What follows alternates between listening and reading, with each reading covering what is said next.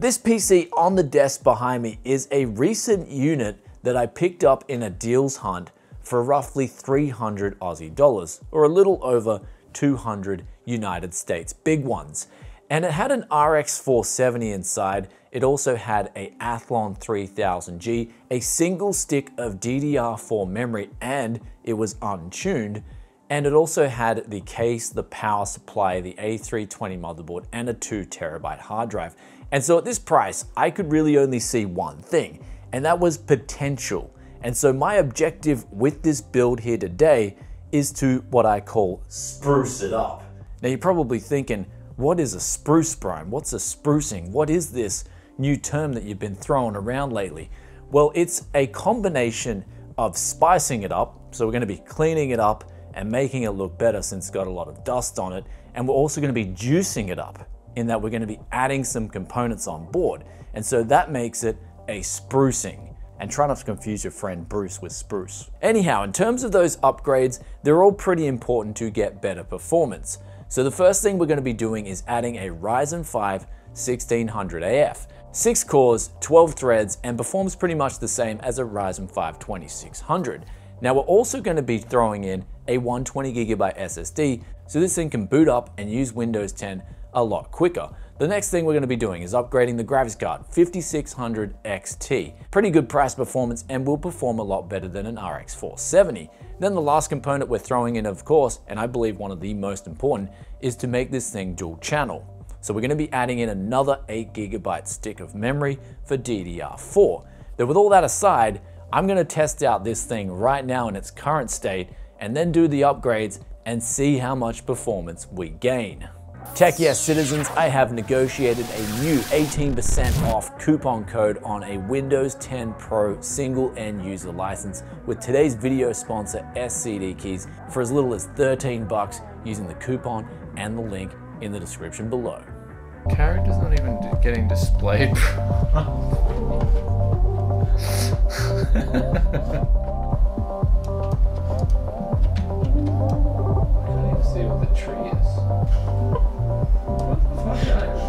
going on? Where is this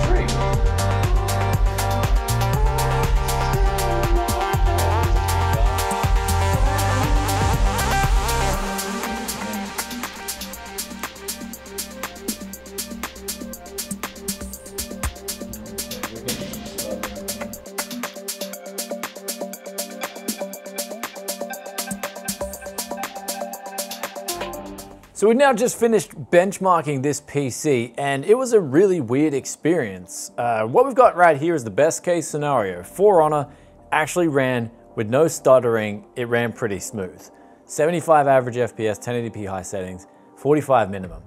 But Fortnite, I, it was doing some really weird stuff. In Fortnite, uh, none of the things were displaying properly. There was like trees going through my character and I couldn't get a proper reading in that game. I couldn't even like hit the uh, benchmark key, which I can do right now on this uh, game to get an accurate benchmark number. So that was really weird. And then Doom, uh, that was stuttering as well. And that's really weird for Doom to stutter. This was 1080p high settings as well for Doom, as opposed to Fortnite where we use competitive settings. So Doom and Fortnite were really bad experience, but of course that single channel untuned memory is probably most likely the biggest culprit for those two games not running properly. That aside, it's finally time to give this thing some tech yes loving, change the video card over, put the extra RAM in, and that 1600 AF. We also may have to update the BIOS just as a precautionary uh, measure.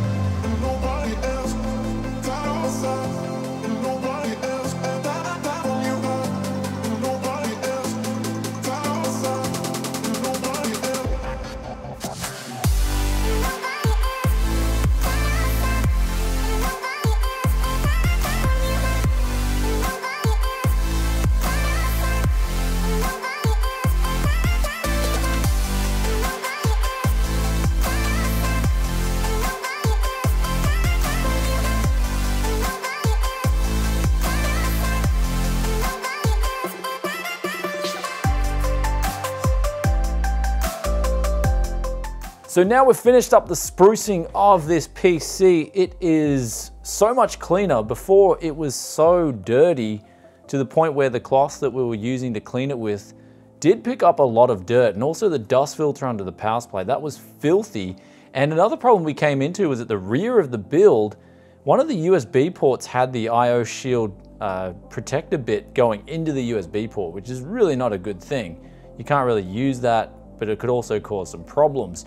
But now that we've fixed up everything, we've tuned the memory to 2800 megahertz since it is using an originally like a 2400 megahertz stick, and we've added in another 2666 stick. This is pretty much budget memory, but we can still clock it to 2800 megahertz and get some good uh, frames, but it's also in dual channel now. So that's that with this build. But another good thing we did was we pulled out an RX 470 and also that dual core 3000G. So we can use that for an office PC later.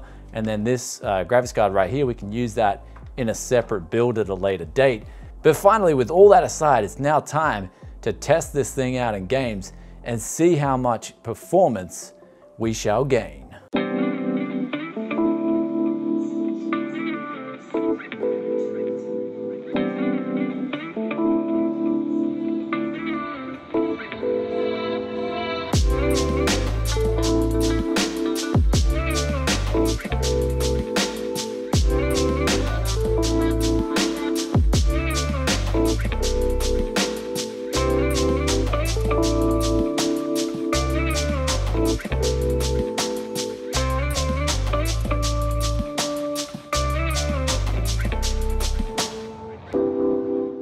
And we've just finished up now benchmarking this PC right here, the Sprucer, and I was just blown away by how much smoother things were for starters, but also it's such a good path to consider if you don't mind buying someone else's PC that they have and they just really had a bad configuration from the get-go. Because what we saw here was Doom suddenly lifted to over 170 FPS 180 FPS when it originally was at around 44 FPS. Now, the RX 470 is going to go a lot harder than 44 FPS in this game at 1080p high settings. It was just being let down by the single channel untuned memory in the 3000G. Now, adding in the Ryzen 5 1600AF made a huge difference in Doom. It also made a huge, and this was the biggest difference in Fortnite, the game was completely playable, and we're getting around like 200 FPS on average. It was working absolutely fine. Everything was smooth. So that may be a problem if you guys are playing Fortnite and your system isn't configured properly, uh, especially if it's running in single channel memory and you've got say a dual core, you may come into this issue where things are not appearing properly on your screen. And so that's something to be, I guess, aware of with Fortnite, where I've actually never run into that problem. And I initially thought maybe it could have been the hard drive, but here's the scary thing, is that is I actually tested all these games out and redid it with the hard drive because all the games were already installed. I didn't have to reload anything. And so now I'm gonna go back after this video and reinstall the whole OS on the SSD and make things even better. Because I think in Fortnite, it was dipping the 0.1% lows because that hard drive was having a hard time loading up background process in Windows while it's trying to load up some of the stuff in the game. So that's definitely something you can be aware of if you're diagnosing problems for your friends, say in Fortnite and they're running with potatoes, they might want to put in some dual channel memory or upgrade to at least a true quad core. Though the last game actually surprised me the most, and that was For Honor, where this game is clearly extremely well optimized for PC, where it was running absolutely fine beforehand, and then after we still got a massive boost in FPS. We're running at like 166 FPS average and the minimums were incredible too, but it didn't give us, in respects to the other two games we were running, uh, the same amount of gain, if that makes any sense. Even though we got over double the FPS, it still ran kind of smooth beforehand. So that was impressive to see with For Honor. I do like it when these PC games are really well optimized. And that's one title I can think of off the top of my head, but another title as well would be Strange Brigade. They're probably, like after doing this testing, they're probably the top two games on PC that you can even run in single channel and you probably won't notice a huge difference to your FPS.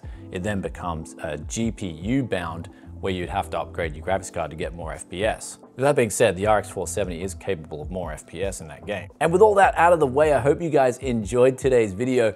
Definitely on the AMD side, I like the A320 motherboards. They go really well with 6 core 12 threads, especially the Ryzen 5 1600 AF, even though we can't overclock it on this build, it still runs absolutely fine out of the box at 3.7 gigahertz all core, and we tuned that budget memory to 2800 megahertz. Now, something about that budget memory, right? If you come into this real cheap 2400, no heat sinks and no XMP profile memory, you can still get more out of it. And I found 2800 megahertz around like what we got here, CL17, is still a decent speed and it will give you a lot more FPS than the previous config on that memory. And of course, we didn't break the bank in sprucing this thing up and the FPS was really smooth. So this is an option to consider if you're in the market and you wanna get really good FPS for the dollar.